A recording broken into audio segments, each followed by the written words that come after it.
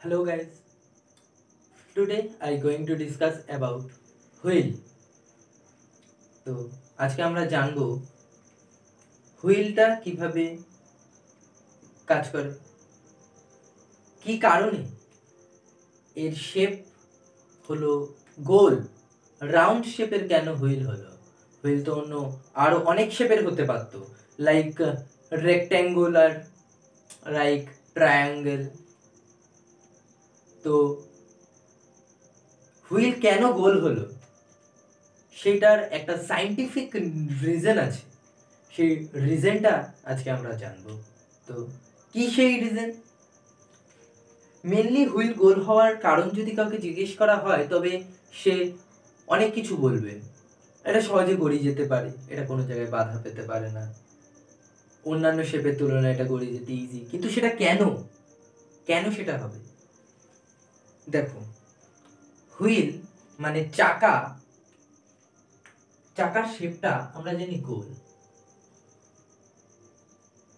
অন্য আরও অনেক শেপের বস্তু থাকে, সেগুলোকে আমরা চাকা হিসেবে ব্যবহার করতে পারি না। কেন? আমরা জানি, কোনো বস্তুকে তার স্থান পরিবর্তন করাতে গেলে এক্সটার্নালি কিছু ফোর্স অ্যাপ্লাই করতে হয়। এক্সটার্নালি ফোর্স যেমন এটাকে সরাতে গেলেও করতে হবে, এটাকে সরাতে গেলেও করতে হবে। কিন্তু কেন? হুইলটা অন্যান্য শেপের তুলনায় বেশি তাড়াতাড়ি যেতে পারবে। সেই কারণটা হলো, বেশি সহজে যেতে পারবে। সেই কারণটা হলো, যদি আমরা একটা স্কোয়ার বস্তুকে externally ten newton force apply করি টেন নিউটন তো কোনো কিছুকে ঠেললে গ্র্যাভিটির উপর প্রেশার দেওয়া হয়। তো গ্র্যাভিটি সেখান থেকে ব্যাক ফোর্স দেবে। লাইক নিউটনস থার্ড ল তো নিউটনের থার্ড লতে কি বলা আছে?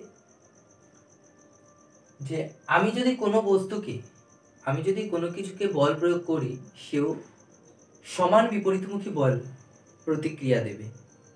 তো সেক্ষেত্রে এই স্কোয়ার বস্তুটাকে যদি আমি এক্সটার্নালি টেন নিউটন ফোর্স দিই,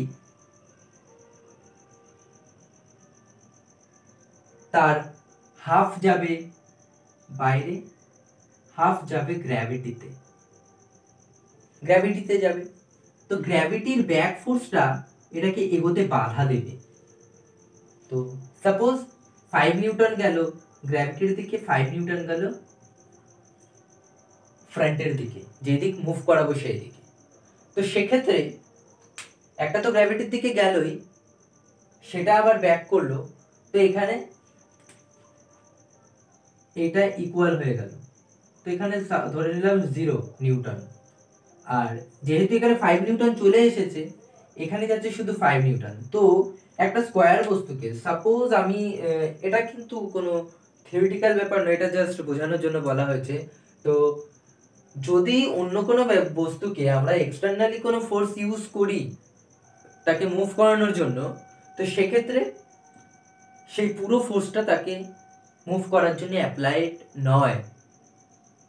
কিছু ফোর্স বাইরের দিকে যাবে আর কিছু ফোর্স মিশিয়ে যাবে।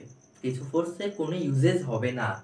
তো সেই কারণে একটা রাউন্ড শেপের থেকে একটা অন্য কোনো শেপকে সরাতে বেশি ফোর্স লাগে।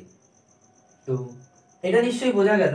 তো যদি আমি এখানে টেন নিউটন, এই বোর্ড ওয়ার্ক অনুযায়ী যদি আমি এখানে টেন নিউটন ফোর্স অ্যাপ্লাই করি, তো আলটিমেটলি দেখা যাবে অ্যাপ্লাইড হয়েছে শুধুমাত্র ফাইভ নিউটন ফোর্স শুধুমাত্র ফাইভ নিউটন ফোর্সে সে এগোচ্ছে। আর সিমিলারলি আমরা এই যে রাউন্ড শেপটা চা হুইল আমরা যেটাতে ইউজ করি, সেই রাউন্ড শেপটা যদি আমি same ten newton force apply করি এক্সটার্নালি তো সাপোজ এখানেও সেম গ্র্যাভিটেশনাল ফোর্সের দিকে ফাইভ নিউটন চলে আসবে, আর এইদিকে যাবে ফাইভ নিউটন যেহেতু এটা গোল কার্ভ রয়েছে, এইখান থেকে যে নিউটন থার্ড ল অনুযায়ী যে প্রতিক্রিয়া বলটা, যে ব্যাক ফোর্সটা আসবে ফাইভ নিউটন সেইটা রোটেট করে যাবে। আলটিমেটলি সেটাও ইউজ হবে হুইলটাকে গড়ানোর জন্য। তো সেক্ষেত্রে এখানে আমরা যতটা ফোর্স অ্যাপ্লাই করব, ততটা ফোর্সেই চাকা ঘুরবে। সেই কারণে হুইল আমরা ইউজ করব শুধুমাত্র রাউন্ড শেপ এই অ্যাডভান্টেজটা পাওয়ার জন্য।